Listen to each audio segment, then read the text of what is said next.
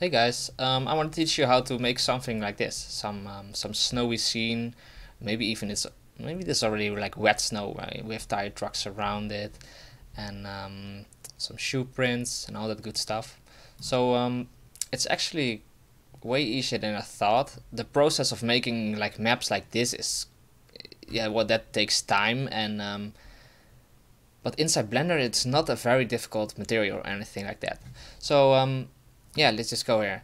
By the way, if you want to get, um, we're gonna start with just my maps that you can get from my website.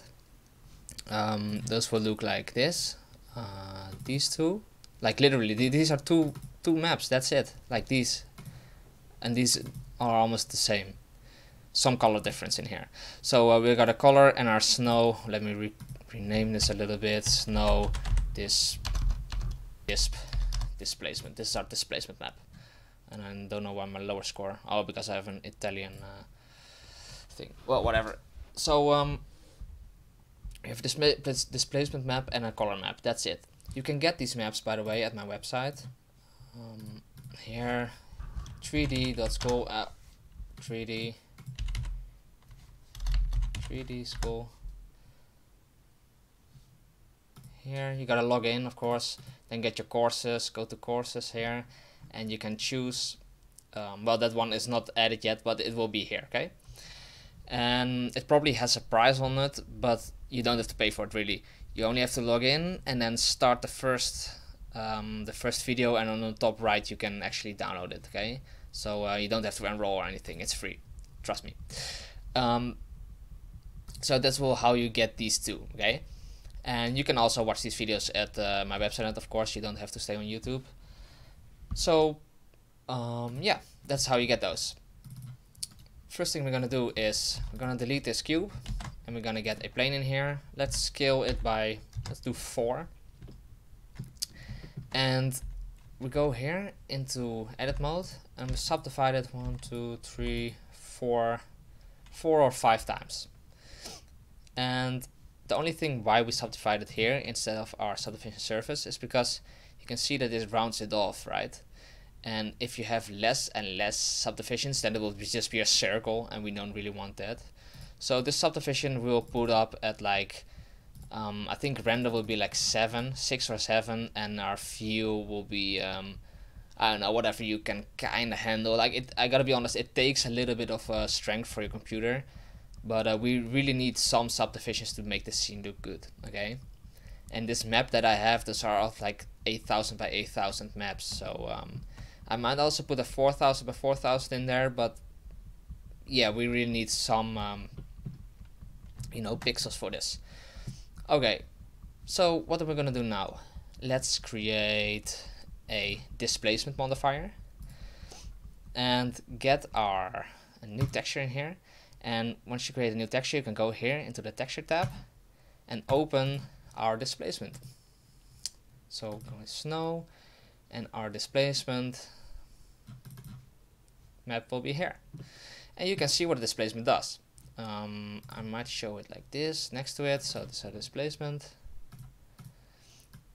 What you can see here is the lighter it is, the higher it is in our scene, right? So it's very white and um, that shows how high it is and the darkness shows how deep it will be okay? And this is of course uh, way exaggerated. I can't say that word but um, you know what I mean. And so we put our strength a little bit down. 0.02 or something like that will be great. See it already changed a lot. Let's also give it a smooth shading. So just click on W and shade smooth. Cool. And you can see that um, if I play around with these subdivisions that it doesn't give us any detail when we go very low right? And the higher we go the more detail we get and all that good stuff. So if this is too deep for you you can always go to uh, uh, zero one five something like that. Play just play a little bit around with that. It's not um, yeah just play a little bit around. And um, yeah just get your render subdivision a bit up. So you when you render it then you will actually see some uh, noticeably nice details cool so that's it Nah, it's not that easy. but it's actually we're already like a uh, like very far. So let's go here in render engine and go to cycles because we're gonna do this with cycles not with Eevee and create a material.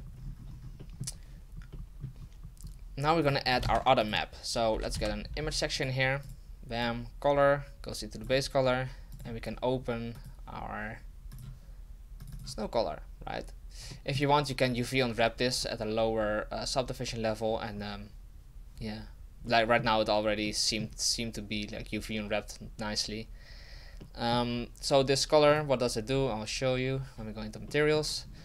Here you can see our asphalt below, and um, some tire tracks are deeper than other ones. So here you have a, a lot of asphalt already showing, and it's probably like that. This car drove over it like uh, you know 10 minutes before and then it snowed a little bit over it again. And we also have the bit with the food tracks you know? So um, yeah that's a bit how I created in Photoshop. I'll show you later how I actually made this map. Like I show you some tips and tricks and stuff. But um, yeah. So um, when we look at snow so let's look here. Let's just google snow. Image. And when we want to make our like material when we look at snow something like this you can see I got this from Blender Guru I think and that every snowflake it's is its own entity right? It's not like snow is just one solid thing. No it's like a lot of just like a sand it's like a lot of separate pieces. So you have some reflections that are there and some not because every snowflake has its own like angle and yeah some angles it reflects very well at you and some angles it don't it doesn't.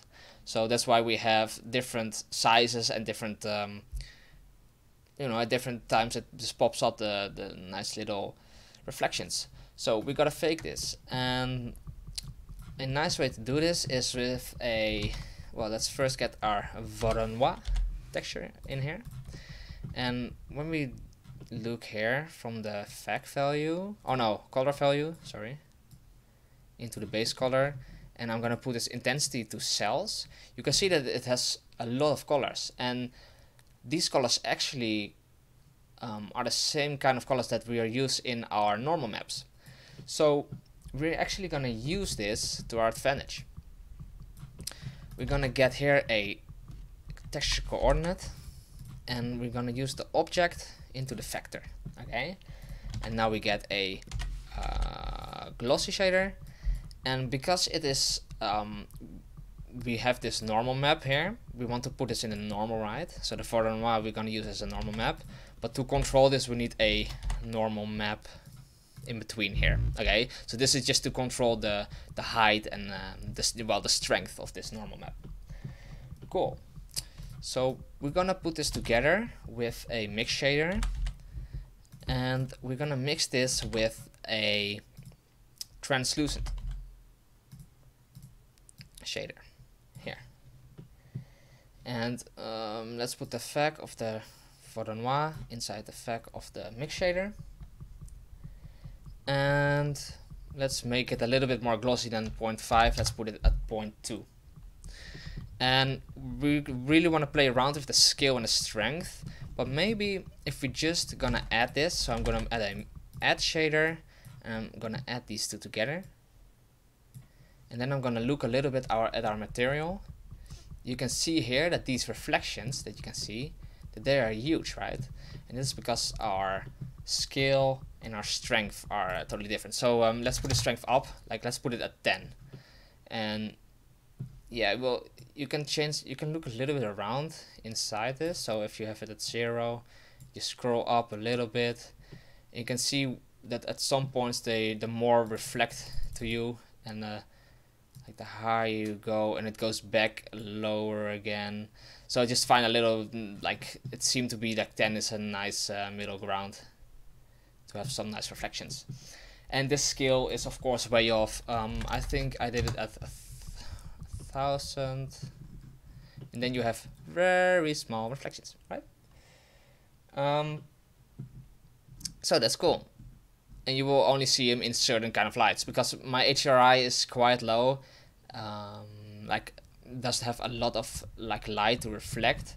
So if you have a very high um, light source or a very like um, like a lot of lamps or whatever you might want to readjust this to uh, your liking okay? What I want to do though is I'm gonna duplicate this.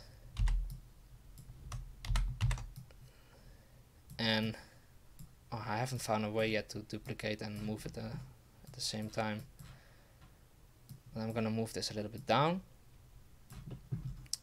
This object goes into here. And I'm gonna make this one even smaller. So 200 or 2000 well what is it? 2 million? Scale of 2 million? Or is it point zero zero? I don't know. 2000 I think.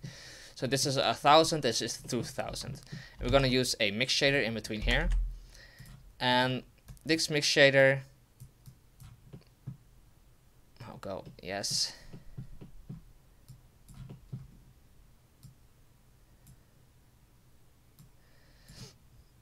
So with this mix shader we can choose do we want more of the small ones or more of the big reflections, okay? So if you have it all the way to the right, you can see that you have all the small reflections, which looks, which look very nice. You have it all the way to the left, you can see what we had before, and those are the bigger reflections. So I chose uh, point A to have a little bit or more of the small reflections and a little bit less of the bigger reflections. Um, yeah, so that's um, how we did this material and other stuff. Mm, you can also maybe even put a bump map in here. I personally didn't do it, but um, yeah, you can just get a noise texture in here. Um, well, I'm here. And get a bump, and then you of course have to change. Like the scale will be 150,000 or 150.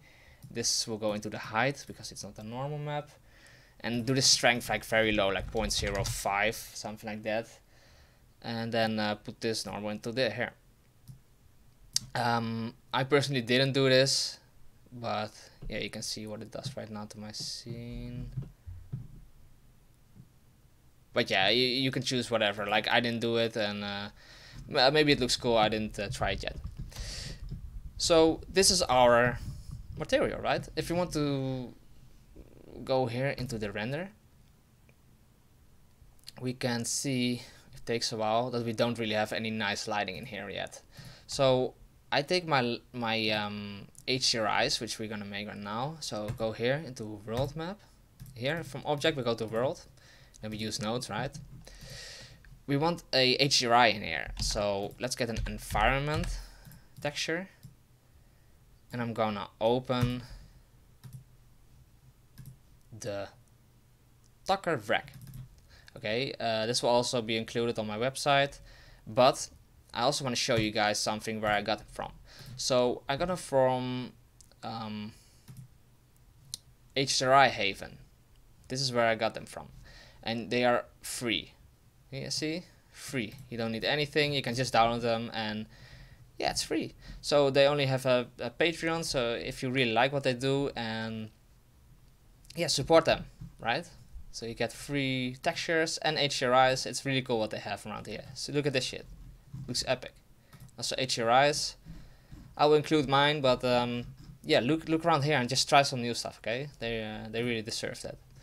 So I got this uh, Tucker Wreck in here, and what I want to change though is um, when you go here into the world, we have to change this ray. Uh, no, this here um, into the settings volume to multiple importance okay? That's the only thing I would change here. Maybe max bounce a little bit up but mm, yeah. This seems cool. Or not not max bounce I mean map resolution. So if you go to manual our map resolution of our HDRI is 4k right? And this is 1k so you just do um times 2 4096 that will be the map resolution that we use. Cool. So yeah, right now um, just get your camera at a nice angle and you can start rendering. It's that easy. See?